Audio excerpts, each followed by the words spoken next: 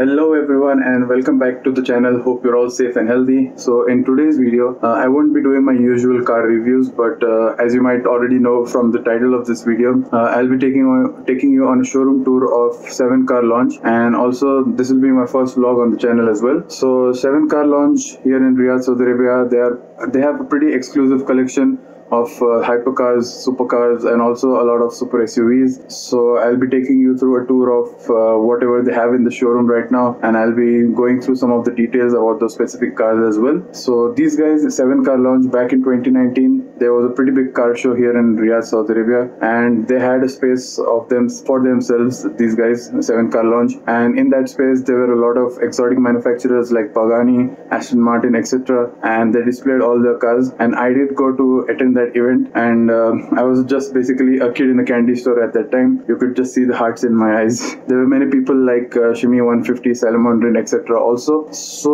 um, these guys are pretty well known and they have one of the best collections I believe here in Riyadh, Saudi Arabia. So before we head to the showroom, I just wanted to say if you are uh, new to the channel and are watching my videos for the first time, uh, do hit that like button and also do subscribe to the channel as well and turn on the notifications so that you'll be the first ones to know when I upload later videos. So now uh, let's go right ahead and take a look at their showroom. Okay guys so i am here at the 7 Car Lounge. So here it is. As you can see it's written 7 Car Lounge. And let's enter inside and i'll show you all the cars that are available in the showroom. So there we go. And you are greeted by obviously the Bugatti Veyron and Chiron Sport over here. And first let's take a look at all the cars around and uh, one thing uh, I do like about the 7 Car Lounge is the layout of the showroom is pretty nice. Uh, you have massive expanse over here of glass which allows everybody passing by to come and take a look at the cars. So let's start from the left side. So the first car we have here is the 1993 Porsche 911 Turbo S. This is the 964 generation. Uh, and all the specifications about this particular car I will put it down below uh, at the bottom so that you can read them clearly. Because uh, at the time I didn't have a lot of knowledge about the older cars. Now this being an old car it had some dings and scratches but uh, that's to be expected uh, due to the age of this car. And this yellow color in which this car was it was, it was really good. And uh, the cars and the car did stand out a lot. And uh, i'll show you the interior. You can see it has a leather interior with the black and yellow uh, two-tone. Uh, due to the exclusivity of the car we cannot uh, open or uh, open the doors or also touch the car so we were not allowed to do that but it's understandable due to the value of the car. And you can see the steering wheel over here it has uh, a yellow uh, middle or center part with the turbo S badging at the rear which uh, you saw without the rear seats. Then at the back you have the famous rear wing with the turbo S badging and one of the famous signatures of Porsche the light bar at the back which they have uh, actually brought back in the new 992 generation. So now as we turn around we can see the F1 car that's stuck to the wall over here. Uh, but one thing about this F1 car is obviously it's a replica, it's not the real deal. Uh, and also, I didn't know the exact model of this uh, replica. I tried to find it on the internet a lot, but I couldn't find it. So, one way we know that uh, this is a replica is uh, by the vent near the Puma logo. That's fake also the steering wheel this is a thrustmaster steering wheel often used in simulation or simulator games uh, by gamers and uh, also one more thing at the back is that it did not have an uh, exhaust pipe so all these little uh, facts were there around the car which uh, told you that this is not an actual uh, F1 car. I was also confused at first, but then when I saw those little details, I got to know that okay, this is an a replica, not a real car. Then we come to this uh, Aston Martin DB5. Now this is not uh, a classic Aston Martin uh, like which has been restored. This is a totally brand new one, and I'll tell you why. So this Aston Martin is a totally brand new car that's a part of the continuation series from Aston Martin. So over here you can see it's a brand new 2020 model. It is powered by an inline 6 engine with 325 horsepower and it is attached to a 5 speed transmission. So you can see also it is uh, 18 million 500,000 riyals. That's around 5 million dollars. And also is just one of 25 so basically they made this car to commemorate the James Bond movies. There have been 25 movies so far. So that's why there are 25 cars. And this car is exactly built to the car uh, that was in the movie Goldfinger it has all the gadgets that can be uh, used by a, remote. You cannot control it from inside the car. You have to use that remote. And over here you can see it has a roof outline uh, where the eject ejector seat would come out from in the movie. And at the back you have the bullet shield which comes up to obviously stop the bullets from getting into the cabin. And there are a lot of other gadgets as well. So now we'll take a look at this uh, Brabus G800 Adventure. So first you can see this badge over here which says Biturbo 800 meaning it has 800 horsepower. And it has the body kit from Brabus which means carbon fiber everywhere. You have the exhaust system from Brabus you can see the wheels uh, which are uh, off-road oriented and look uh, and are pretty big as well. Then you can see the suspension system which lifts the car up even higher than what it normally is. Then uh, normally the g-wagon is an suv but here they have uh, cut out that uh, back part and they have installed a truck bed uh, and you can see the Brabus logo inside and these are the anti-roll bars. You also have a roof rack system up top and now we'll take a look at the front. So the front is the standard uh, G-Wagon with some additional body parts on the hood. You have lights, LED lights up top uh, and also you have a winch at the front. Now I'll uh, show you the price as well. So I'll convert it into dollars for you down below also so that you have an idea of the comparison. And also this SUV is so big and I'm not a small guy by the way. I'm just six foot five and despite uh, that I felt really small. Uh, now we come to one of my favorite cars in the showroom and that's the Chiron Sport. So we'll be taking a look at that now. So here it is one of my most favorite brand new cars on the market right now uh, even though I can't buy it it's still one of my favorites. So the biggest change when compared to the standard Chiron is the larger front bumper which pro provides more air and also provides more downforce at the front end. Then you have these outlets right above the front wheels which allow to remove the hot air pressure from inside the wheels and uh, allow again for better downforce other than that there's nothing else in the front or any other new change in the front. Then here are some specs of the Chiron Pur Sport. You can see the W16 quad turbo engine produces 1479 horsepower. And also you can see the price 16,500,000 reals. And believe it or not it's actually less expensive than that db5 then here on the roof you have these two glass areas which allow the interior to be or feel light uh, due to the extra light coming inside uh, obviously i couldn't show the interior by opening the door so here's the best i could show you can see you have blue leather on the sides of the seat with the Chiron Sport written in the middle and also the center part of the seat is black with the blue diamond stitching. Other than that there are no changes on this side. Also it's a bit lower in terms of uh, the ride height I believe. Also one interesting fact about the Sport is that until 300 kilometers per hour it is uh, one of the fastest accelerating bugatti ever. It's even faster than the super sport so that's something cool and that's why i like the Pur Sport a lot more. It might not be as fast as the super sport in terms of top speed but uh, just that acceleration alone is enough to make me excited. Then uh, let's uh, come to the back now. So the back here you can see that beast of an engine which is uh, totally open. There's no glass roof. And you can see the w16 logo and the 1500 logo which indicates the horsepower. And then you have this uh, rear wing. I really like the design of this rear wing. It's pretty unique. And it also resembles the star wars uh, x-wing fighter a bit uh, especially if you see it from this angle. Then you have the Chiron light bar. Then you can see these are the heat extractors which remove hot air from the exhaust system. And you can see all the carbon fiber and the blacked out Ettore Bugatti logo. This is the exhaust system of the car. Uh, I do like the design but personally my favorite is the Super Sports exhaust design due to it being the vertically stacked. And that looks better in my opinion. So this is all on the Chiron Pur Sport now let's move on to the Veyron Super Sport. So here it is the Veyron Super Sport world record edition. So the Veyron Supersport when it was launched it set a top speed record of 431 kilometers per hour. At that time it became the fastest car in the world. So this particular car you can see it has the matte, matte carbon fiber with the orange paint down at the bottom. And uh, i think it had 1200 horsepower and 1500 newton meters of torque. You can see the interior it's in uh, tan not orange. So it and it looks good also. Here are the NACA air ducts which uh, help to cool the engine down. And you can see the super sport one of one badge here. Then we have uh, the rear wheels which are really wide at 365 section tires. And you can see the rims which are orange in color. Then we come to the engine bay. And this engine is uh, obviously again open due to the intense amount of heat it produces. So it needs to cool down. And also any other figures? I believe yeah 0 to 100 it went in 2.5 seconds.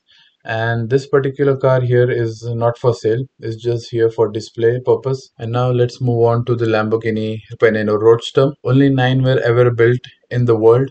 And this is the only one here in Riyadh, Saudi Arabia. The specification of this particular car is very unique. Not something I would go for, but it's uh, unique in itself. So you can see uh, we have the matte black paint job with the green accents. So the paint uh, brake calipers are green.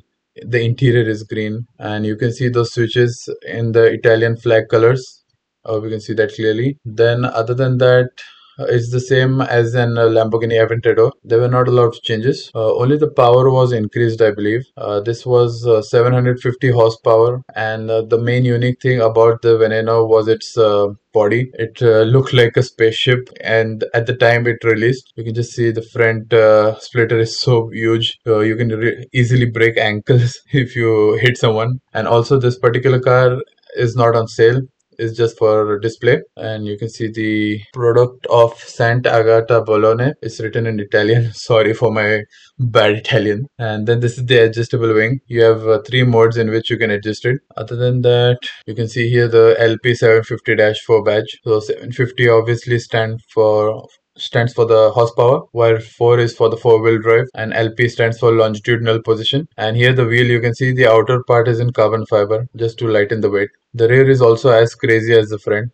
You can see that huge diffuser and the centrally mounted exhaust. It does look really good, just like a spaceship.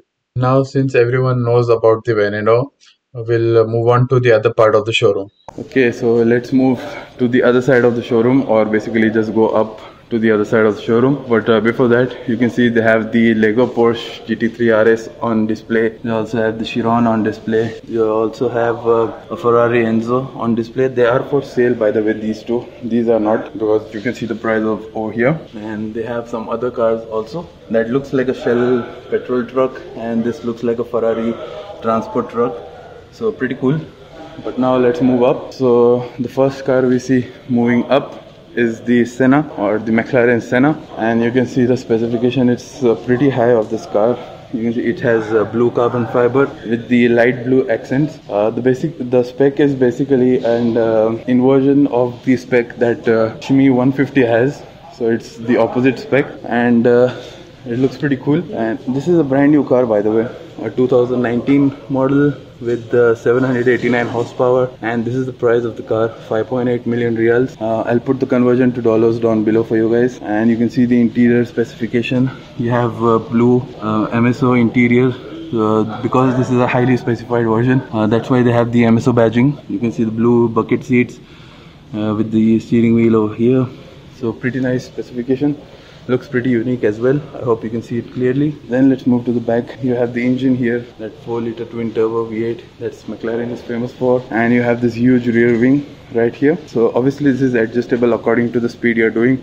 It uh, adjusts that automatically and it acts as an air brake as well. Then at the back itself mostly when the Senna came out not a lot of people liked it because of the design. But uh, what uh, McLaren did is they went uh, function over form with this thing. So uh, everything you see in this car is designed to give it the maximum downforce on a track. And because of that it did perform really nicely on track. It broke a lot of records I believe also. So you can see how open most of the things are over here just to give that uh, air downforce. And also I like how the light blue accent is over here at the bottom of the wing. The exhaust system of this car on the Euro spec cars you get a third exhaust in the middle over here. But uh, I think this is an American spec. That's why you don't have uh, third exhaust. With the third exhaust the car was a bit uh, less loud compared to the American versions that have only these two exhaust pipes over here. Then you can see the McLaren logo with the camera. And you can see that diffuser down over there. Then let's move to the side and we have this uh, Diablo over here. So this one is specifically a Lamborghini Diablo VT and it's a 2001 uh, 2001 model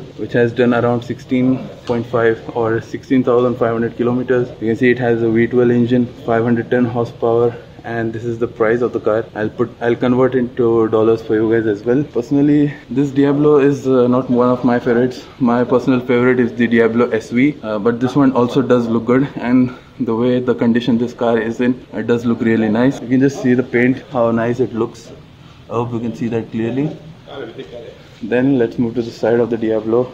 You have these cool wheels silver and you can see that you have uh, red brake calipers. I think these are not carbon ceramics by the way but it does look good. Then you have the classic scissor doors from lamborghini.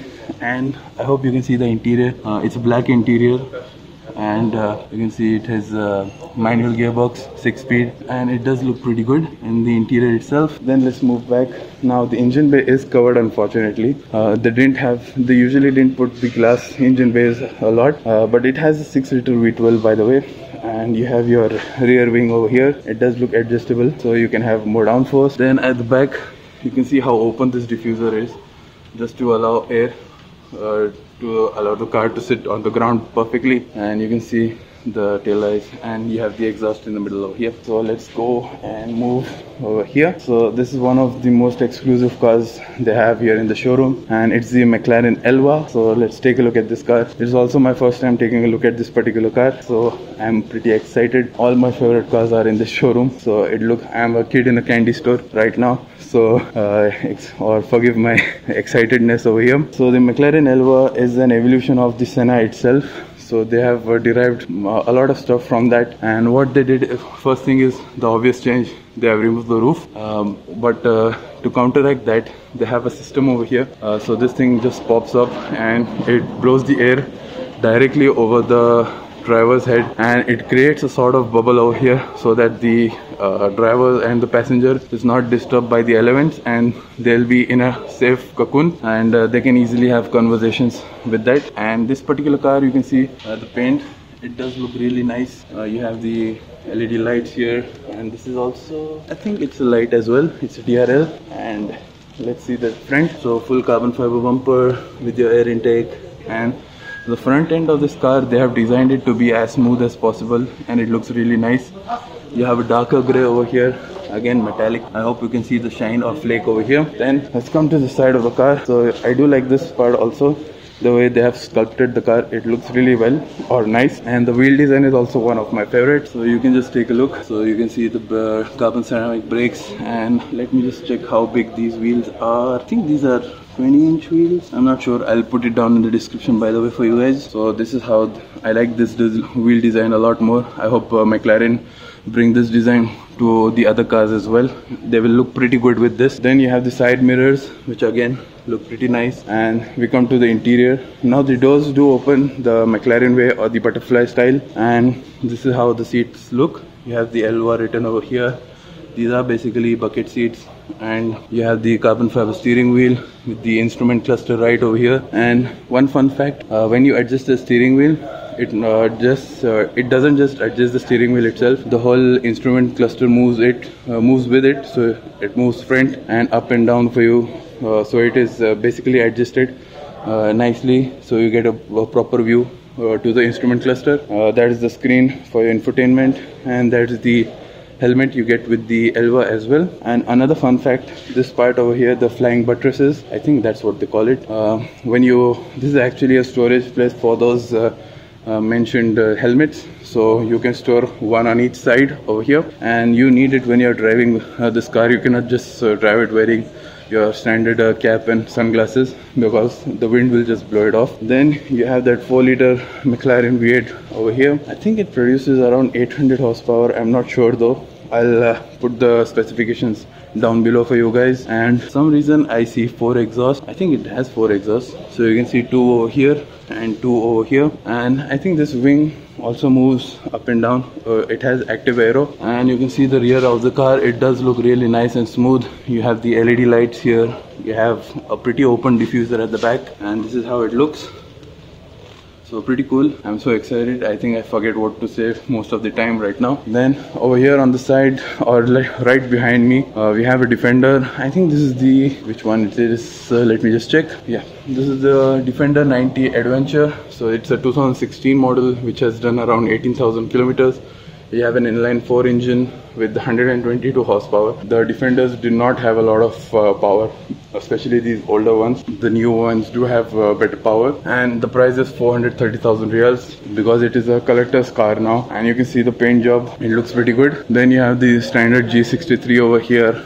And we come to this side. And they have a maybach also and this one I've already done a video on the Maybach. If you want to see that video I'll link it up uh, in the description. Uh, and I'll also link my playlist in the corner as well so you can take a look at all the videos I have made so far. Then here we have the X6 competition. This is another car I forgot to show you. That was the Ram TRX then over here we have uh, the Maybach 57S and it's a 2012 model. You have a v12 543 horsepower and this is the price. Again us dollars will be put over here the conversion. The interior even now it looks pretty luxurious despite being a 2012 car. It just looks pretty comfortable. I hope you can see that clearly. And let's take a look at the back seat or back side. So standard maybach I hope you can, you saw that clearly. Now let's move here in the front where we have two Ferraris. So let's take a look at the cars. So the first we have an F12 Berlinetta and let me just show you the specifications. It's a 2014 model. Uh, you have a V12, 730 horsepower, 885,000 reals. This is the price of this car and I do like the spec of it.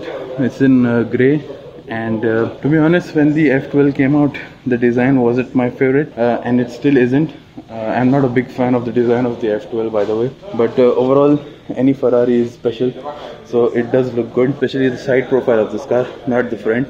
And even the rear of this car is pretty nice. So here are the wheels. You have your uh, yellow brake calipers carbon ceramic. You have the Ferrari shield here and you have the red interior which looks pretty nice. And my favorite angle of the F12 is the rear. So you have an F1 style rear uh, light or reverse light. You have the circular uh, tail lights that is uh, a Ferrari signature and you have quad exhaust and you have that diffuser over there. But we come to another car which is even better looking than this uh, the F12 and that's the 812 Superfast. So you can see it's in the Rosso Corsa I believe. And I'm that kind of guy who thinks that a Ferrari should be red because they look best in the red color. And you can see you have an Italian badge or uh, Italian flag badge over here. Then you have the Ferrari logo and you have your four circular tail light and again the quad exhaust.